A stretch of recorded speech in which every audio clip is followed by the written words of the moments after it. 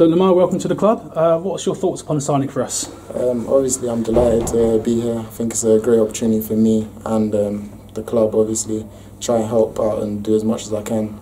Obviously, I know the club's in a, a very high position on the table, and um, obviously looking forward to getting to the playoffs and try and see where we can go from there.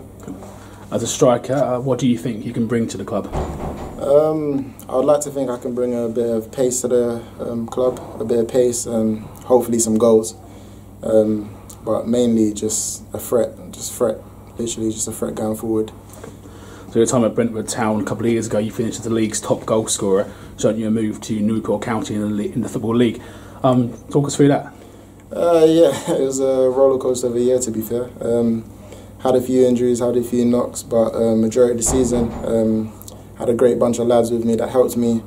Um, I was lucky enough to score quite a few goals. Obviously, there was a few teams sniffing around, and lucky enough to get me to Newport. Yeah.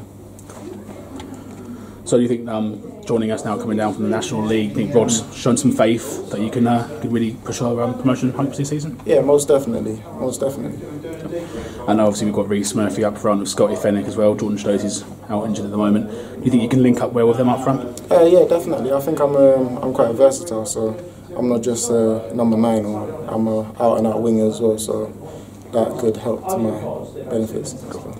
Now we take on Truro on on Saturday. And um, what do you know about Truro? Um, to be fair, I don't know much at all, but um, obviously I guess we're going to find out on Saturday. Cool.